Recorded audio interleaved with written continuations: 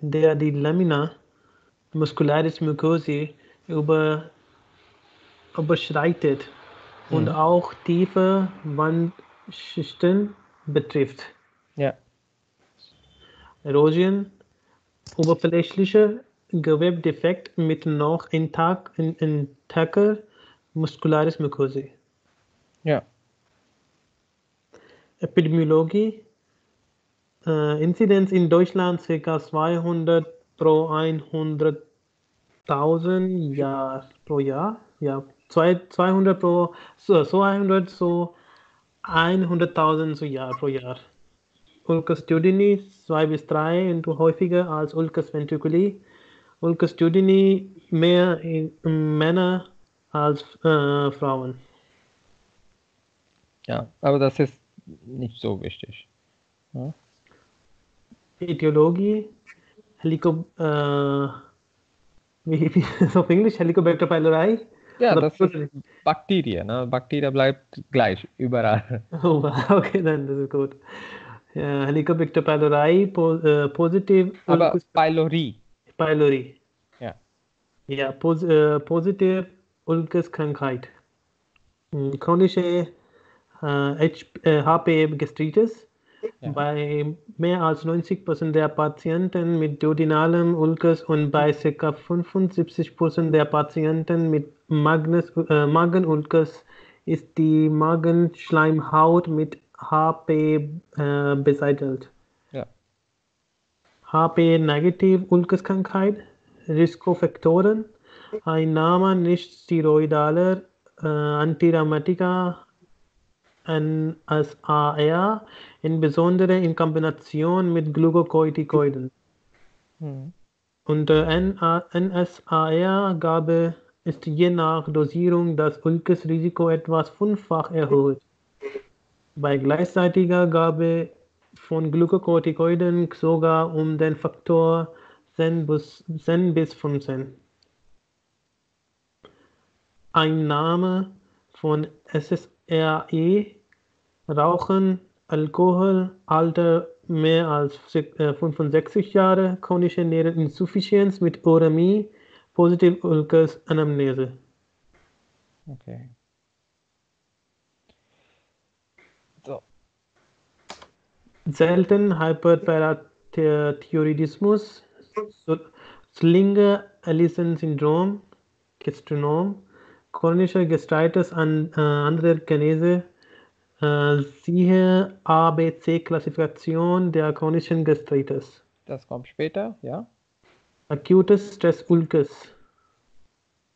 Stress Ulcus, ja. Ursachen Polytrauma, große Operationen, SIRS, äh, Nierenversagen, etc. B. Therapie, Stress Ulcus Prophylaxe. Okay. So, äh, gehen wir nochmal oben. So, Ulcus und Erosion muss man verstehen, dass es äh, tiefer ist. Ulcus, das geht bis zu Lamina muscularis. Äh, und wenn man äh, sieht, dass äh, diese Lamina muscularis intakt ist oder muscularis mucosa sogar intakt ist, dann ist nur Erosion. Äh, das ist äh, zu unterscheiden, weil da gibt es beispielsweise bei Mallory-Weiss-Syndrom, da gibt es äh, esophageal Erosionen und nicht Ulcus. Aber beim Gastritis und solche Sachen, da gibt es schon Ulcus. Das ist, die sind tiefer. Und deswegen da ist Gefahr von dieser Perforation mehr als was anderes. Äh, da gibt es zwei Formen, Duodenie und Ventriculi. Das sehen wir gleich, äh, Unterschied zwischen beiden.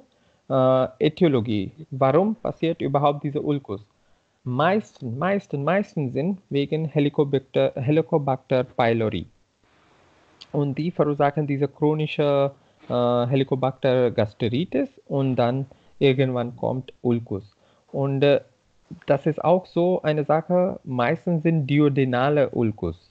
Äh, die sind mehr in Duodenum und nicht äh, direkt im Magen, äh, weil die können auch äh, in diese sozusagen äh, diese äh, acidotische äh, Bereich nicht so gut überleben können. Und deswegen die sind mehr die, diese duodenalen Ulcus.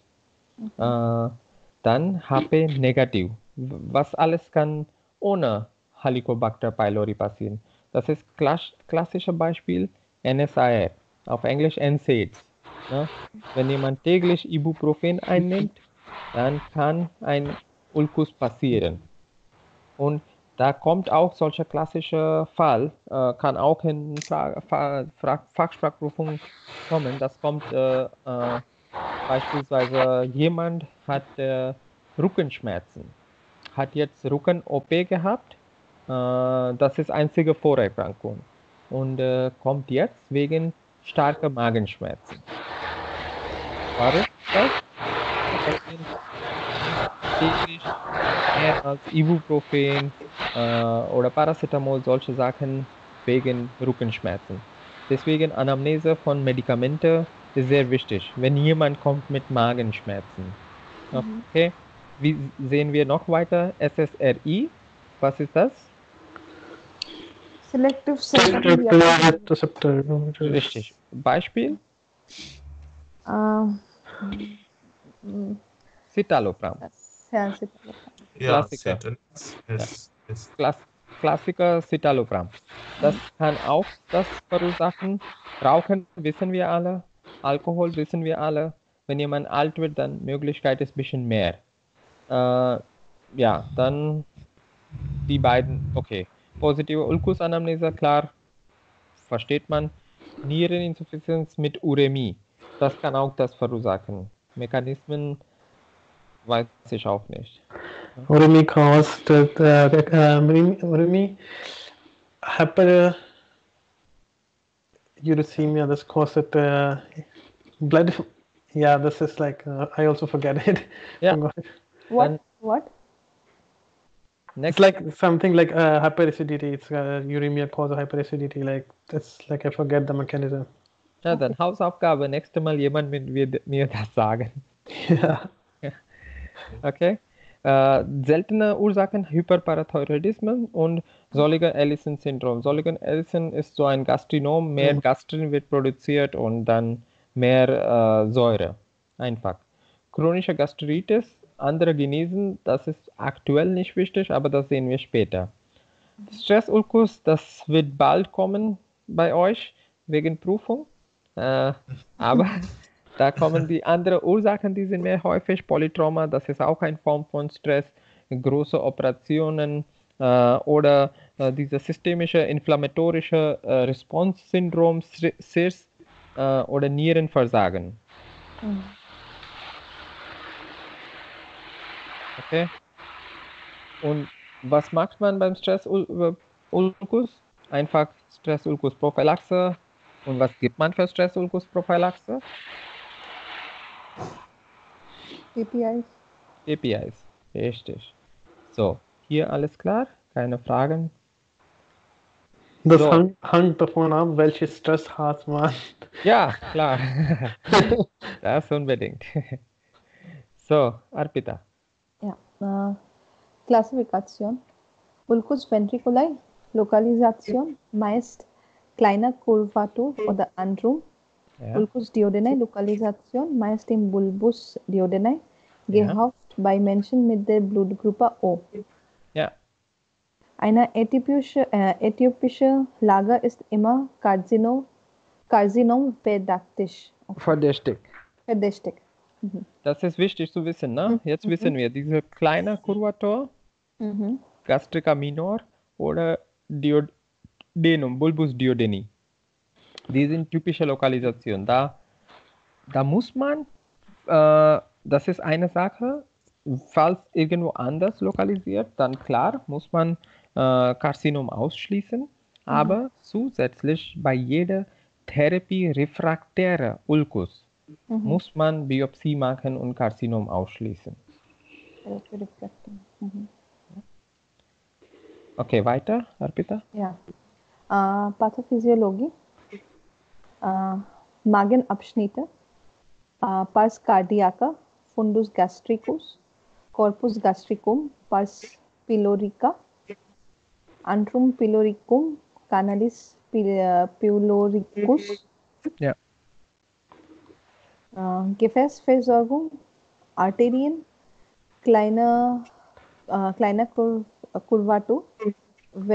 versorgt mit äh, आर्टेरिया गैस्ट्रिका सिनिस्ट्रा लिंक्स एंड आर्टेरिया गैस्ट्रिका डेक्स्ट्रा रेस्ट ग्रोसा कोर्वा मित आर्टेरिया गैस्ट्रो ओमेंटालिस डेक्स्ट्रा एंड आर्टेरिया गैस्ट्रो ओमेंटालिस सिनिस्ट्रा मागन फुंडस मित आर्टेरिया गैस्ट्रिक के प्रेविस एंड मागन हिंटरवंड मित आर्टेरिया गैस्ट्रिका पोस्टीरियर Muss ich was erzählen hier? Nicht, ne? Nein. Nein. Venen? Hm? Äh, verlaufen größten, äh, größtenteils wie die Arterien venoser Abfluss in die Vene portae. So, hier alles klar, das ist einfach, Ja. ja, muss man lesen. Mhm. Wichtig ist nur diese kleine Kurvatur und Duodeni. Das Mhm. muss man wissen, wo die sind Mhm. und äh, was ist die so Bedeutung, warum ist das wichtig zu wissen, Mhm. wegen Karzinomverdacht. Ne? Mhm. So, das Anatomie muss man, falls man möchte, dann kann man lernen. So wichtig ist für Fachprüfung nicht. So, Ja. Äh, physiologischer Magensaft, ja, Belegzellen, Bildung von Salsaura, HCl und Intrinsikfaktor, ja, Nebenzellen und Antrumdrüsen, Bildung von protektiven, äh, protektivem Schleim und Hauptzellen, Bildung von Pepsinogen. Ja. Äh, merkst du zur Zusammensetzung des Magensaftes, die Belegschaft ist sauer und intrig, äh, intrigiert, weil die Hauptmänner Pepsi trinken und die Nebenmänner rumschleimen. ja. Okay. Das ist, falls jemand möchte, das, Aha. ja, weißt du, Mnemonik. Ja. Dann soll ich? Belegzellen, Belegzellen sind Parietalzellen, Parietal. Mhm. Parietal Cells. Und die äh, produzieren insbesondere HCl und IF. Mhm. Äh, IF ist notwendig für Vitamin B12 B12. Absorption. Ja. Äh, Nebenzellen, Antrumdrüsen für protektive Schleimhaute und das, man, das ist alles jetzt wichtig zu wissen, weil da kommen dann später Mechanismen, warum passiert ein äh, Ulkus überhaupt, dann wissen wir das. Ne? Gut. Äh, Regulation der Sekretion, Stimula äh, Stimulation der Belegzellen durch Acetylcholin, Ja, Histamin und Ja. Gastrin, Produktion und Sekretion von Salsaura, Prostaglandine, Stimulation der Schleimproduktion und Hemmung der HCl-Ausschüttung, ja, Protective, ja, schädigende Einflüsse, Helicobacter pylori, äh, pylori Gast, äh, Gastritis, äh, Sauersekretion äh, vermehrt, ja, schützende Faktoren oder Schleimbildung äh, vermindert, ja, äh, Einnahme von NS, äh, NSAR, Protective Prostaglandine vermindert, ja. das klassische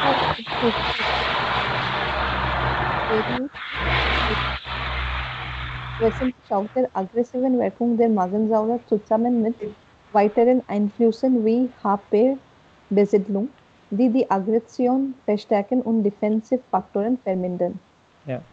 So hier, das ist wichtig zu wissen, diese Mechanismen, weil wir, wenn wir diese Mechanismen kennen, dann Mhm. wir wissen auch, wie die Medikamente funktionieren. Hier, wir sehen schon, Pro- Prostaglandin äh, ist sozusagen gut, äh, verursacht mehr Schleimproduktion und hemmt HCl. Das bedeutet, falls da etwas gibt, das ist Prostaglandin analog, dann das soll uns helfen. Das sehen wir auch in Therapie. Äh, und falls da gibt es etwas, der Histamin oder Gastrin oder Acetylcholin hemmt, dann wird auch weniger Säure produziert. Mhm. Ja? Deswegen ist diese Mechanismen wichtig zu wissen. Okay? Okay. Hier Fragen? Äh, nein. Hm? Ich habe zwei kleine Fragen. Ja. Salzsäure und Magensäure sind die gleich? Magensäure äh, hat Salzsäure in it, so drin. Okay. Ja. Oh, Und äh, Schleim ist Mucus, oder? Mucus, Ja. ja. Okay. Okay? Ja. So, Omkar, weiter. Symptom, Oder, oder, Klinik, oder wer soll jetzt? Äh, Wolfram, Gülkan oder Omkar? Wer soll? Ich weiß nicht. Ja, ich kann lesen. Ja. Ja, Symptome, Kliniken, allgemein Symptome. Epigastische Schmerzen, Ja. eventuell Blu äh, Blutung, Zeichen, Anämie, Hämatomesis, Melania. Hm. Äh, Besserung durch äh, Antäsida, Ja. asymptomatische Verlauf sind möglich. Verläufe sind möglich. Ja. Äh, spezifisch, äh, spezifische Symptome, Ulcus ventriculi, äh, wichtig zu wissen, ne? Dieser Punkt. ja, Schmerzen unmittelbar nach Nahrungsaufnahme oder Ja. äh, Schmerzen unabhängig von Nahrungsaufnahme. Aufnahme. Ja. Ulcus duodeni, Nüsternschmerzen, insbesondere nachts, mh, Linderung der Schmerzen durch Nahrungsaufnahme. Das ist wichtig. Diese erste Nahrung macht schlimmer, andere macht Nahrung besser. Ja. Ne? Ventriculi Nahrung macht schlimmer, Duodeni Nahrung macht besser. Mhm. Einziger Punkt. Immer tausendmal wiederholen. Ventriculi Nahrung ist schlecht. Duodeni Nahrung ist gut. Und, ja, und der Patient mit Ulcus duodeni, sie kommen meistens an, in der Nacht. Ja, Um, ja, 1 oder 2 Uhr. weil, weil da die sind nüchtern Ja, sie nüchtern. und dann kommt Schmerzen. Ja. So, weiter.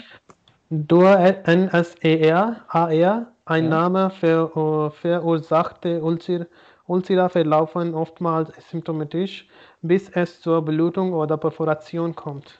So, warum ist das so? Weil es gibt keinen Schmerzen. Man hat Ja. äh, Ulcus, aber mit dieser NSER, man bemerkt das, äh, man bemerkt Schmerzen keinen. Schmerzen.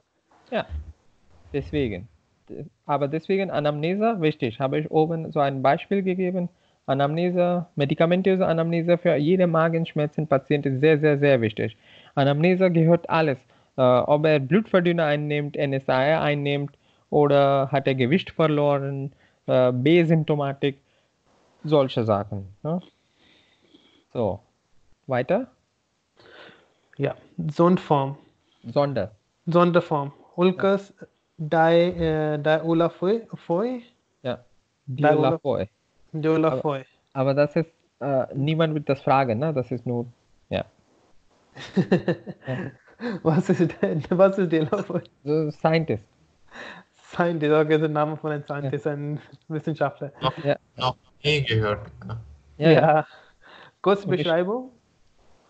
Seltene Erkrankungen, äh, Erkrankung, bei der es bereits durch eine äh, geringe, geringe Schleimhauterosion aufgrund einer ver- verlang, ver, verlanggelegten verlaufenden Arterie in der Magenschleimhaut zu schweren Blutungen kommen kann. Hm. Lokalisation meist im äh, proximalen Magenabschnitt.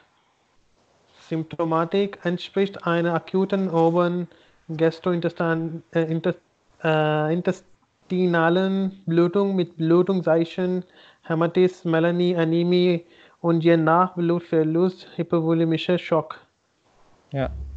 Therapie, endoskopische Blutstillung, äh, Unterspritzung, Clip, etc., Exzision der blutungsgefährdeten Region. So, äh, am Ende ist gleiche Symptome, gleiche Therapie, aber nur so ein French Wissenschaftler hat das entdeckt und dann Name gegeben. Ja. So, Omkar? Diagnostik. Ja.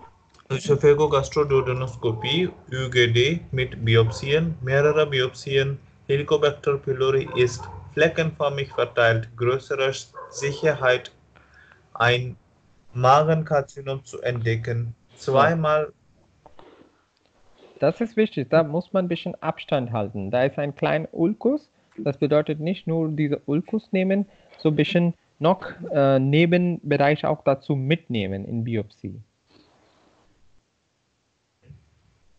So, weiter. Zweimal, ja, zweimal Magenantrum. Pylorisch an kleiner und großer Kurvatur und zweimal Magenkorpus, kleiner und großer Kurva- Kurvatur. Ja. Circa 10% der Ulcera ventriculi, mehr als 2 cm, sind maligne Magenkarzinom. Biopsien aus dem Randbereich und aus dem Grund eines Ulcus ventriculi sind daher obligatorisch. Das hat man verstanden. Rand und Grund, was bedeutet das?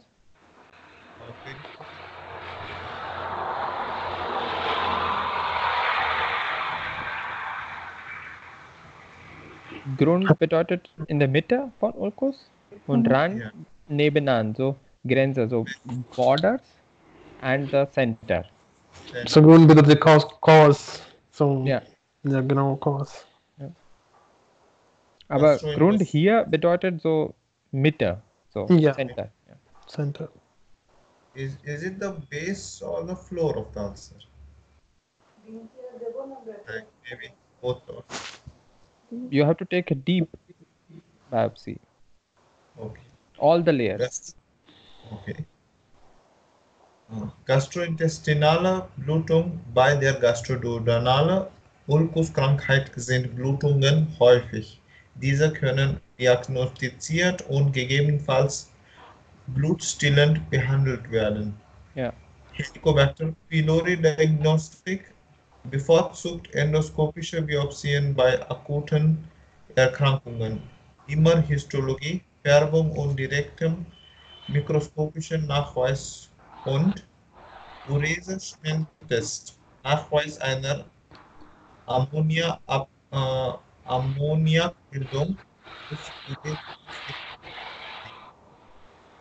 wenn Helicobacter pylori negativ und keine NSAR-Einnahme. Bestimmung von Gastrin bei Gastrinom. Zollinger-Ellison-Syndrom stark erhöht. Bestimmung von Schmerz, äh, sorry, Serumkalzium und Parathormon bei primären Hyperparathyroidismus erhöht. Zum Ausschluss eines Magenkarzinoms muss jedes Magen, Magenulkus bis zur vollständigen Abheilung mittels ÜGD und histologischer Untersuchungen kontrolliert werden. Ja. So, äh, das sehen wir schnell. Äh, wie macht man Diagnose? Biopsie, klar. Äh, Helicobacter pylori ist überall normalerweise verteilt. Die Bakterien bleiben nicht auf einer Stelle und deswegen da muss man eine große äh, äh, Biopsie auch nehmen äh, wegen Magenkarzinom, äh, so Gefahr. Wo nimmt man diese Biopsie? Zweimal Magenantrum, zweimal Magenkorpus. Das sehen wir nochmal.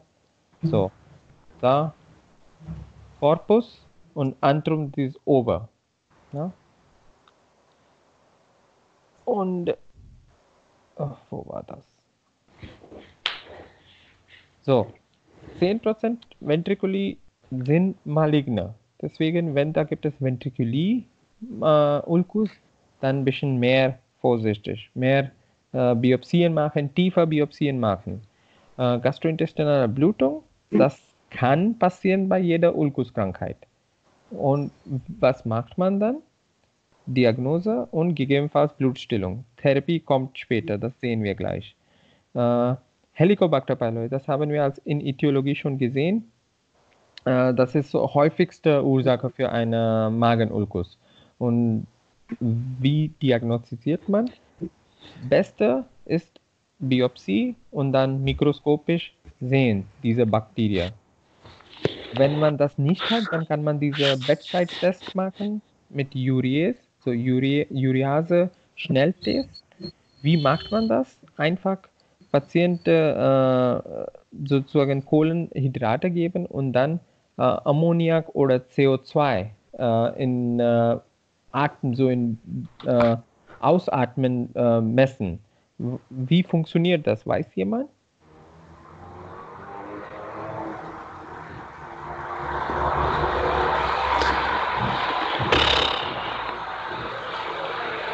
Helicobacter pylori ist äh, hämorrhagic oder? Hm? Das, Also, Was? das ist ich einfach habe so. es, Ja? ich erinnere so etwas, dass wenn in unserem Bauch Magensäure produziert wird, Ja, dann grabt der Helicobacter pylori tiefer und dann in diese Zellen, Go Goblettzellen oder sowas, ja. äh, ich kann mich genau erinnern. Ja, es ist einfach so, dass jede Bakterie hat diese Urease-Enzyme. Wir haben auch das.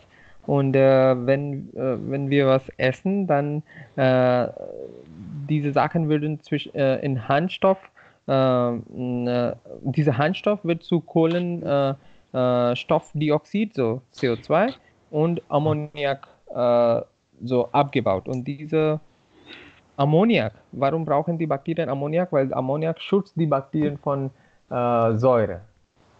Ja. Ah ja. Deswegen, das ist Normalmechanismen von diesen Bakterien und das messen wir. Wenn die CO2 und Ammoniak produzieren, das messen wir in diese Urea-Schnelltest.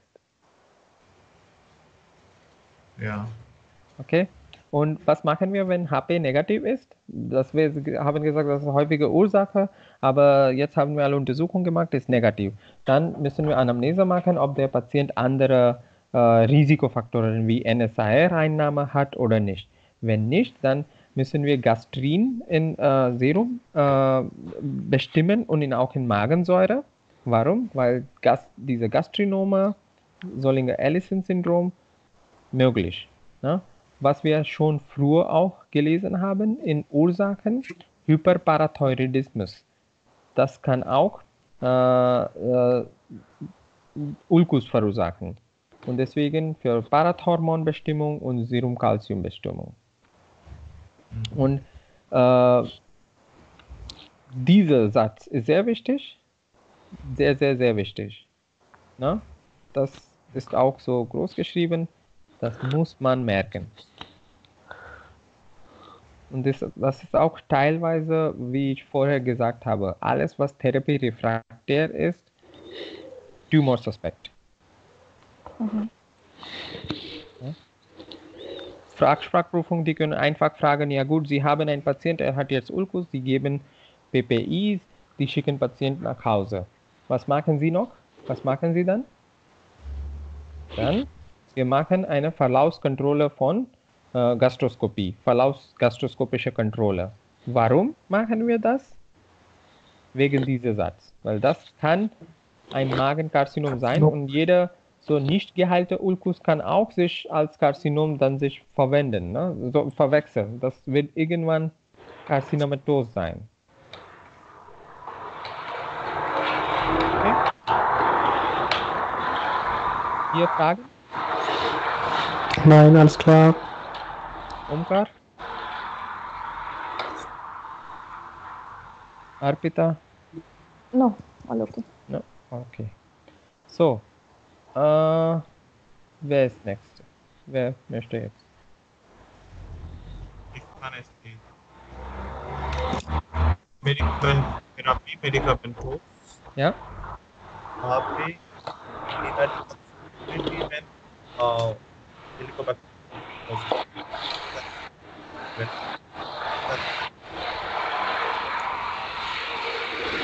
Ich kann nicht dich hören. Hm?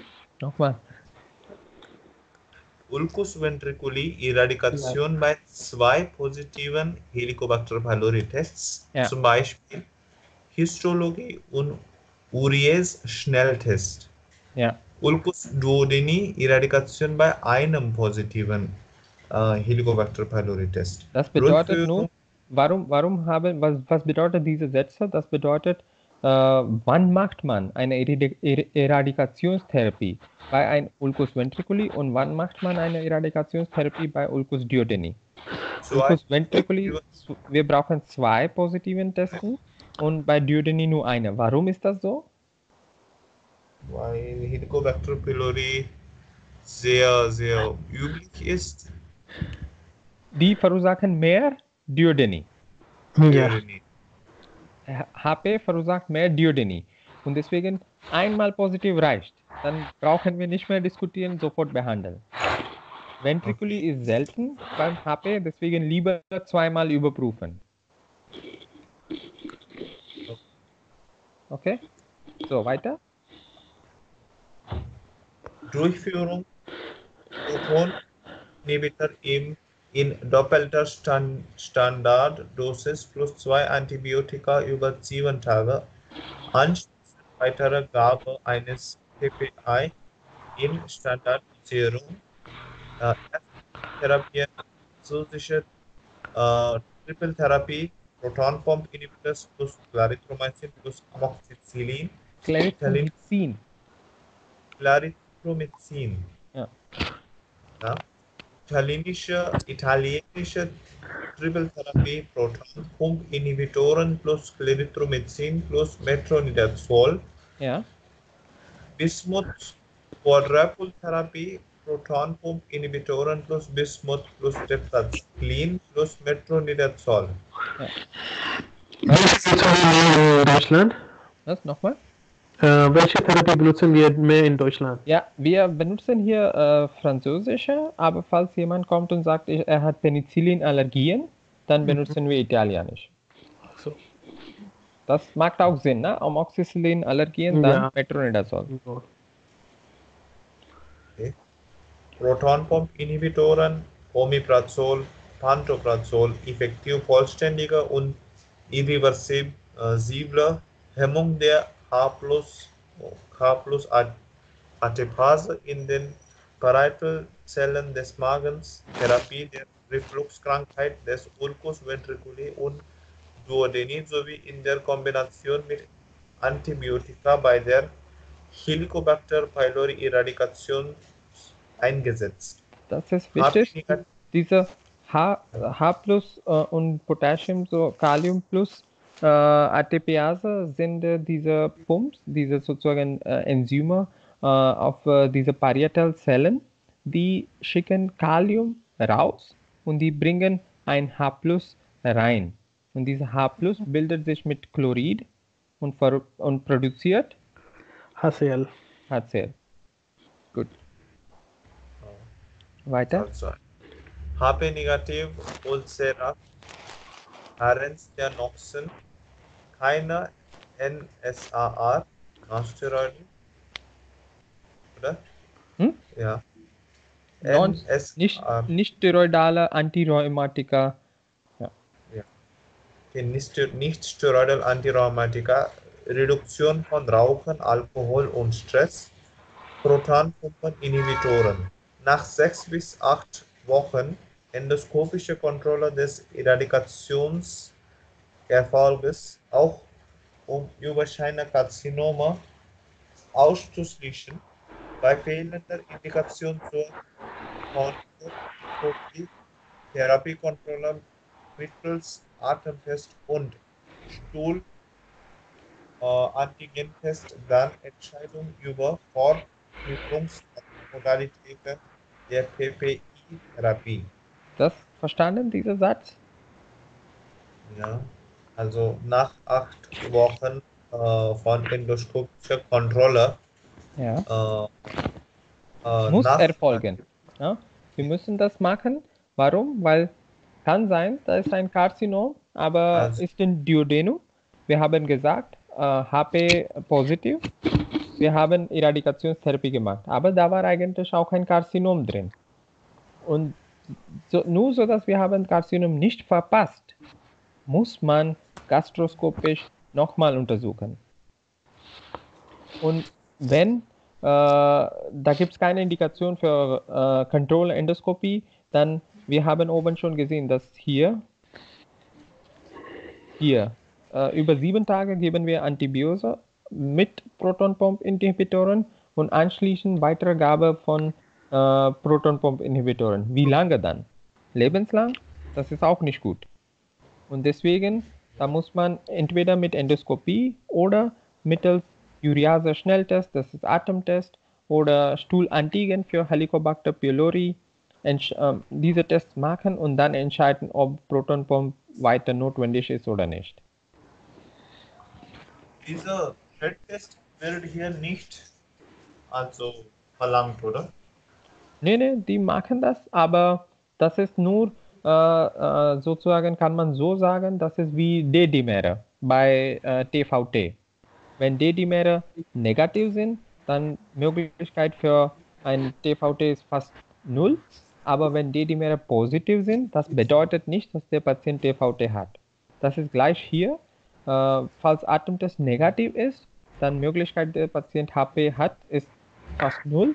Aber wenn das positiv ist, das bedeutet nicht unbedingt, dass der HP hat. Dann muss man endoskopisch oder mit Stuhlantigen untersuchen. In Deutschland, die machen für jede Ulkus Gastroskopie. Jeder Ulkus. Interventionen, endoskopische Blutstillung, Unterstützung, Clip, Hirnheber und so weiter. Ja. Operativ, aufgrund der Effektivität der Protonpump-Inhibitore-Therapie werden operativen Verfahren heutzutage nur noch selten angewendet. Ja. Dissektionen sind mitunter eine Option bei endoskopisch nicht beherrschbar, beherrschbarer Ulkusblutung. Ja. Indikation Ultima Ratio, äh, Ultima, Ultima Ratio, Bei, Ratio. Hm? Ja, Ultima Ratio bei medikamentös nicht beherrschbarer Ulkuskrankheit, Karzinom, So, das vielleicht jetzt Arpita kann diese Operationen lesen. Äh, Magenteilresektion nach Billroth. Billroth 1. Äh, Distaler Magenteilresektion mit End-zu-End oder Side-zu-End Gastroduodenostomie. Billroth 2. Resektion der diastalen äh, zwei, äh, Distale. die, äh, distalen mm, how to- two-thirds? Zwei Drittel. zwei Drittel des Magens mit blind verschlossenem Duodenalstom und End zur Zeit äh, Gastro.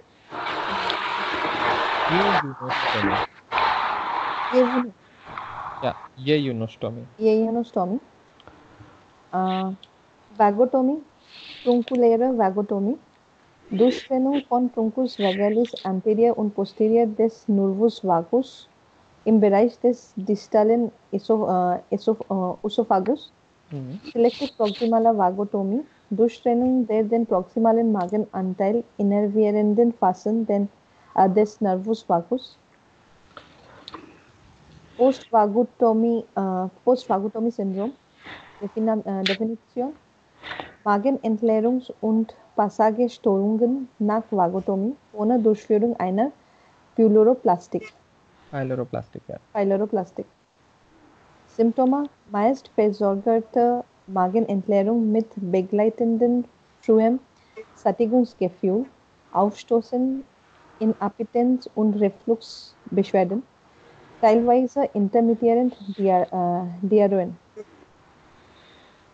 Therapie symptomatisch im Falle von Diarrhoe, Therapieversuch mit Cholest äh, Cholesturamin. Äh, so, was hier wichtig ist, äh, OP-Indikation muss man wissen, wann macht man überhaupt OP. Äh, wenn endoskopisch ist, Blutung ist so schlimm, dass endoskopisch das kann man nicht unter Kontrolle kriegen, dann muss man operieren. Äh, und das ist auch so ein Ulkus, der immer wieder Medikamente gibt man, aber da passiert nichts oder da ist eine wirklich großer Verdacht, dass das dieser Ulkus ist wegen ein Karzinom. Fertig. Dann nimmt man große Teil von Magen raus. Bildrot 1, Bildrot 2, Operationen, äh, ja, Technik würde man eigentlich in der Prüfung nicht fragen, aber äh, das ist Name reicht, aber kann man Video sehen. Da gibt es in YouTube Videos für Bildrot 1 oder 2. Ja? Wie das man, wie man diese OP äh, durchführt. Ja?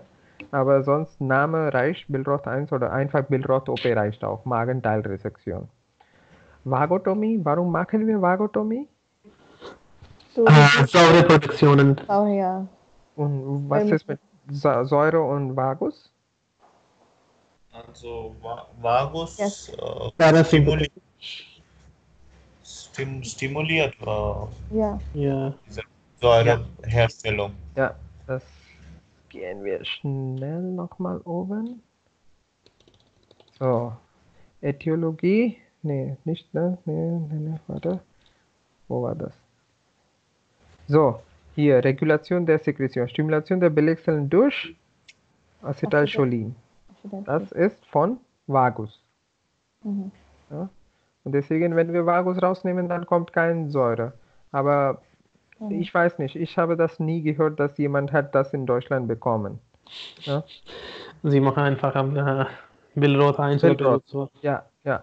Aber trotzdem gut zu wissen und einfach Vagotomie reicht. Ne? Äh, dieser Post-Vagotomie-Syndrom, äh, Magenentleerung und Passagestörungen, da gibt es ein anderes Thema. Nach äh, vielen Magenoperationen kann das passieren. Ne? Das ist das, da gibt es keine äh, Motilität, Peristaltik ist weg und deswegen äh, Essen bleibt dort länger und das kann äh, Probleme wie Reflux oder Aufstoßen, was bedeutet Aufstoßen? Burps, ne? Burping. Ja. auf Englisch. Äh, das alles kann passieren, aber das ist nicht wichtig. Wichtig ist nur diese, dass ja, gibt es Vagotomie und warum? Das wissen wir jetzt. Und Billrot. Und wann man ein OP macht, Indikationen. Die drei Sachen muss man wissen. Wann und wie, das reicht. Okay? Ja. So tief nicht gehen. So, Komplikationen? Ja, Blutung. Siehe auch äh, Lernkarte Gastroenteroblutung. Äh, Bitte? ja, Nummer 1 Klassifikation der Blutungsaktivität nach Forst. Ja. Stadium äh, 1, 1 äh, Beschreibung äh, 1, 1a spritzende arterielle Blutung, 1b äh, Sickerblutung, Mhm. 2, 2a Lation mit äh, sichtbarem barem Gefäß stumpf, 2b koagelbedeckte Lation, 2c He, äh, Hämat- Hämatin. Hämatin, belegte Lation, äh, Läsion. Läsion und drei Läsion ohne Blutungszeichen. Hier, ich habe immer so gemacht, dass es Forest-Klassifikation ist einzelne Klassifikation, wo das sozusagen umgekehrt geht. Kleine Nummer ist schlimmer, Hm, hm. große Nummer ist besser. Okay. Spritzende Arterieblutung, das kommt wie, als ob Arterie ist jetzt verletzt und da spritzt Blut ja, mit jeder Puls. Ja. Sickerblutung bedeutet auf Englisch oozing. Das like it oozes out. You can Mhm. see the blood, it's constantly oozing out. Uh, Läsionen mit ge sichtbarer Gefäßstumpf, da, there is uh, arterial stump which you can see, uh, and like it's also kind of bleeding, but not constantly like Sickerblutung or not spraying like a spritzende Blutung. Coagul, there is a blood coagul, einfach. Da ist like so eine coagul is there. Hematine uh, is only it's also sim- similar like coagul, but it's like uh, coagul is more uh, uh, fresh and hematine is more old. Und uh, Läsionen ohne Blutungszeichen. That means you can see the ulcer, uh, but there is no bleeding. There is a deep, deep, deep ulcer, but no bleeding. Okay, further. Besonders be äh, bedauerlich ist ein akut blutendes Duodenal-Ulkus an der Hinterwand des Duodenums. Warum? Steht weiter. Möglicherweise Erosion der Arteria äh, gastroduodenalis mit starker Blutung. Ja, das sehen wir hier nochmal. So. Wo ist mein Maus? So, Gastroduodenalis hier. Das ist alles Hinterwand. Ne? Das sieht man so, so ein bisschen nach hinten, dieser Gefäß. Und deswegen Hinterwand, äh, Erosionen sind mehr gefährlich. Das ist auch diese Duodenali hier, kleine Kurvatur und deswegen. Und diese ist ganz in der Nähe von Magen. Und deswegen, das kann direkt zu einer Blutung von äh, Gastria duodenalis kommen.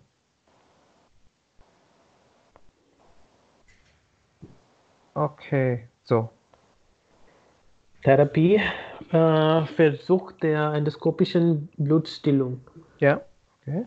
Bei äh, Versagen der endoskopischen Blutstillung, Operationen, Ulkes, äh, Ulkesumstechung und Gefäßligatur Ja. der so führenden Gefäße von extraluminal.